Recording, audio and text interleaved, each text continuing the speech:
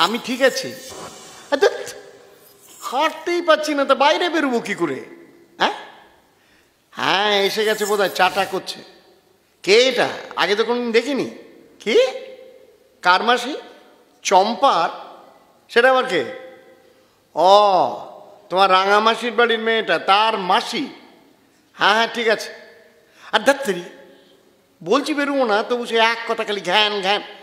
ঠিক আছে রাখছি। বাই।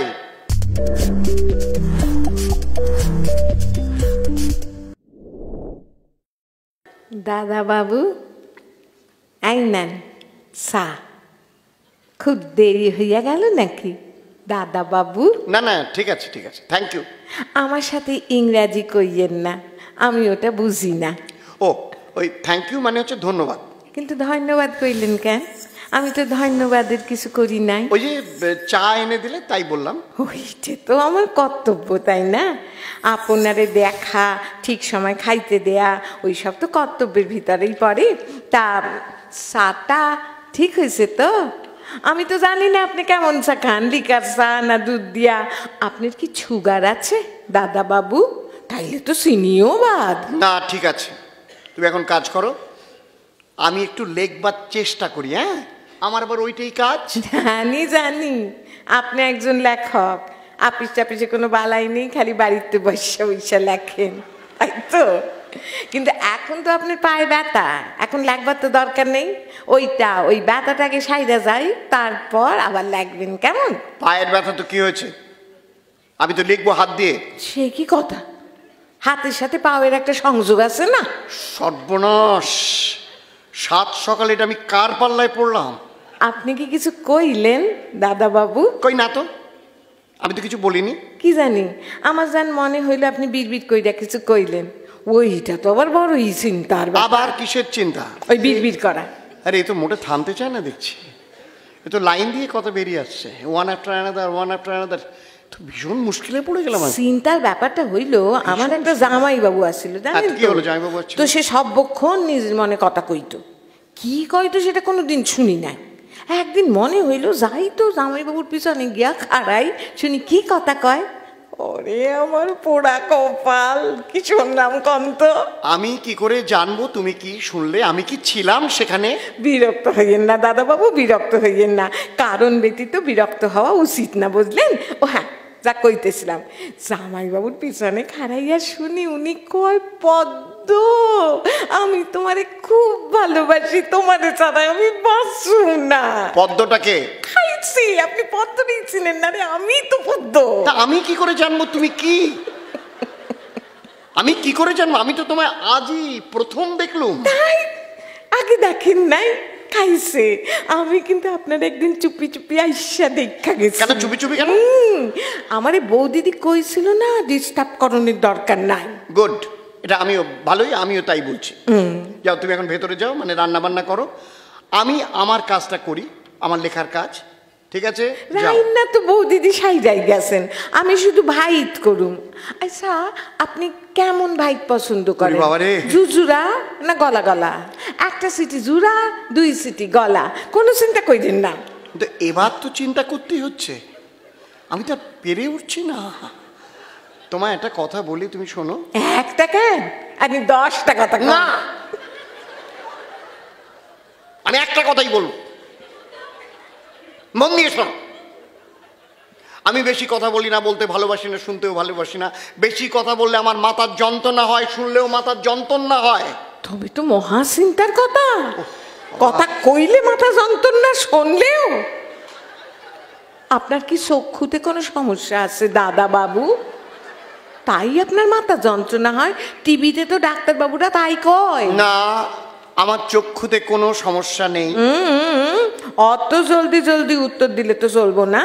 চিন্তা কইরা উত্তর দেন মাথা বইলা কথা। আপনি কি কম দেখেন দাদা বাবু মাথা ঘুরায়? হজম হয়? কি হজম? কি হজম? কার হজম? আপনার হজম আবার কার? আমার তো ওইসবের কোনো প্রবলেম নাই। খাওয়ার পরে একখানা বড় করিয়া ঢ্যাক ব্যাস। আপনার হয়? ঢ্যাক। কি বলছো কি তুমি? আরে বাবা ঢ্যাক ঢ্যাক আরে হয়। এটা কি? বাবা এত জোর দিয়ে কথা কন কেন? আমি জিগাই আপনার কি খাবার পরে কেউ ঢ্যাক উঠে?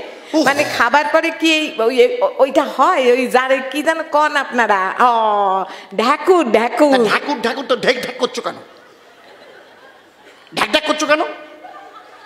আমি জানি না ওসব ঢাক ফাক হয় কিনা আমি জানি না। সব না আপনার তো মাতার অবস্থা খুবই জটিল। ঢ্যাক উঠে কিনা তাই মনে করতে পারছেন না? আচ্ছা আপনি টিভি দেখেন না? দেখি কেন? এখন লাল কাপড় পরা দাড়ি গোপলা সাধুরে দেখছেন? হ্যাঁ। কত রকম কষ্ট দেখায় এই ডিগবাজি খায় আবার তো কোনি মাথাটা মাটিতে ঠাকাইয়া দু পাখানে উপায় উঠাইয়া দেয়।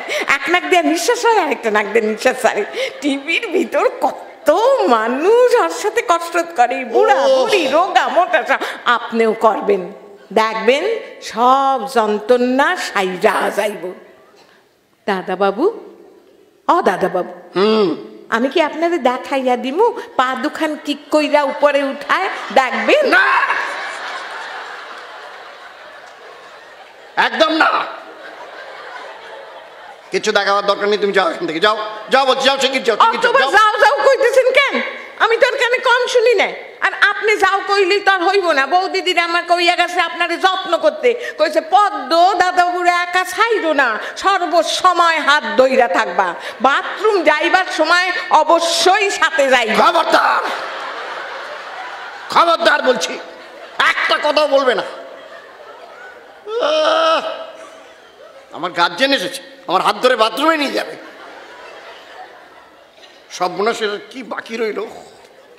দাদা বাবু ও দাদা বাবু কে?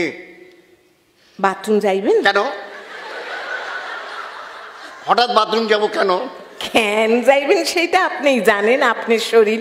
বড় হইব কি ছোট হইব সেটা তো আপনিই বলছেন আমি শুধু আপনার হাতটা দইরা থাকুন আমি তো আর পাচ্ছি না আমি তো আর পাচ্ছি না। উফ দেখো চম্পাবতী না কি একটা আরে আমি চম্পাবতী কেন হইব? আমি হইছি আমি হইলাম পদ্মাবতী। ঠিক আছে। ঠিক আছে আমি আমি এখন একটু বিশ্রাম নেব বুঝলে? বিশ্রাম? হ্যাঁ, মানে আমাকে দয়া কেন বিশ্রাম। কেন? পরিশ্রম তো করেন নাই। আমার ইচ্ছে। আমি রেস্ট নেব এটা আমার ইচ্ছে। যা ইচ্ছে করব আমি। যা ইচ্ছে করব। দয়া করে আমার কানের কাছে খ্যান ঘ্যান ঘ্যান ঘ্যান করো না তো। তোমাকে আমার দরকার নেই। নাই মানে কি হ্যাঁ? নাই মানে কি? বউ দিদি আমারে কত আনন্দ কইরা রাখা গেছে আর উনি কয় সইলা যাও! আপনি রাখছেন নাকি আমারে? আরে এই তো রীতিমতো ঝগড়া করছে আমার সঙ্গে। শোনো আমি এমনিতে কিন্তু ঠান্ডা মানুষ বুঝলে? মাথা গরম হয়ে গেলে কিন্তু আমি একদম হইয়া গেলে কি? কি? আপনার মাথা গরম হইতে পারে আর আমার পারে না। আর আমার যদি মাথা গরম হয় তাইলে কিন্তু আপনার বাসনের কোনো উপায় নাই। মানে কি? মানে কিছুই নাই। আমার মাথা গরম হইলে আমি চিৎকার করি? জিনিসপত্র ভাঙি খাবারের থালা উল্টাইয়া দিই হ্যাঁ। ওই জন্যই তো আমার কেউ রাখে না বলা তো যায় না কখন মাথা গরম হইব। বৌদিদির আমি কইছিলাম আমারে রাইখেন না। কিন্তু! বৌদিদি কইলো দাদা বাবু ঠান্ডা লোক কিছু হইব না। তাই আমি আসছি। কিন্তু শোনো মানে এই কেলেঙ্কারি কাণ্ড হয়ে যাবে এই তো মানে কেলেঙ্কারির কিছু নাই ভয়ের কিছু নাই দাদা বাবু শুধু আমার একটা কথা শোনেন আপনি জোরে কথা কইয়েন না হ্যাঁ? আমার মাথা গরম হয়। এরই ভিতর আপনি দুই তিনবার জোর জোর কথা কইছেন। নতুন লোক বইলে আপনার সাইডা দিছি অন্যরে কিন্তু ছাড়ি না। বাবা। হে ভগবান অত সুরে কথা কন কেন? ভয় পাইবেন না। আমি তো আপনারে মারি ধরি নাই খালি কইছি। চলেন চলেন দাদাবাবু বেলা হইল। স্নান করণে টাইম হয়েছে হ্যাঁ? চলেন। দাদাবাবু।